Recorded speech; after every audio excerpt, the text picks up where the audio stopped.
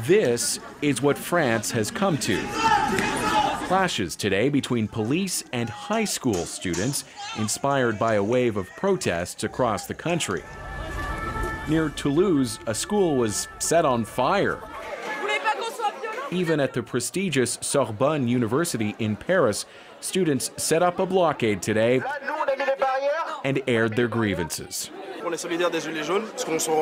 We stand with the yellow vests, he says, because we can relate to their fight. Yes, those yellow vests. The protesters in fluorescent workwear who started by campaigning against fuel tax hikes, but whose movement devolved into ugly riots. Troublemakers threw rocks, torched cars, even defaced the world famous Arc de Triomphe. Lower the taxes and let us live, she says.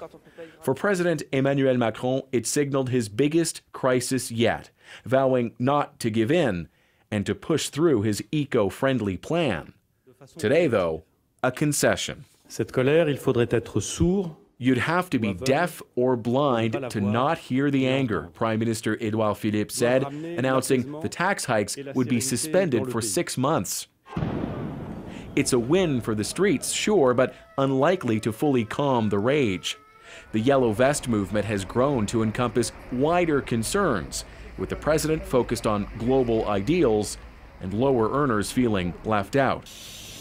The government's image may yet bear this stain for some time. Thomas Daigle, CBC News, London.